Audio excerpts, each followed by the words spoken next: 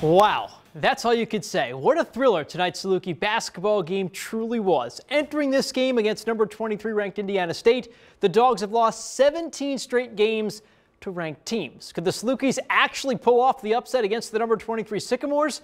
Let's find out. Look who came back for this massive matchup tonight. Former Saluki football stars Ryan Neal of the Bucs and Jeremy Chinn of the Panthers.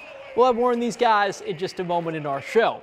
Let's go back to the game now. Down 3 0 out of the gate. Clarence Rupert going to get the pass from Xavier Johnson. He tallies the three just like that. We're all even at three. Later on, a player player's gotten a lot of attention lately. Robbie Avila going to get the inside pass and gets the tough basket as well, absorbs the contact. He was hard to stop in this one. He had a game high 30 points for the Sycamores. Here come the Dogs. Johnson in trouble. He finds a wide open Trent Brown. He splashes through the three.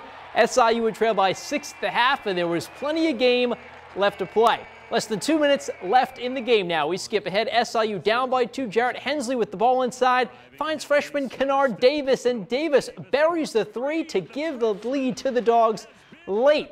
Let's skip even further ahead. One minute left in regulation now. Xavier Johnson trying to make something happen as he always does, and this time he does again. He gives the Dogs a one-point lead again, and they go on to take down the trees 74-69. What a comeback for the Salukis.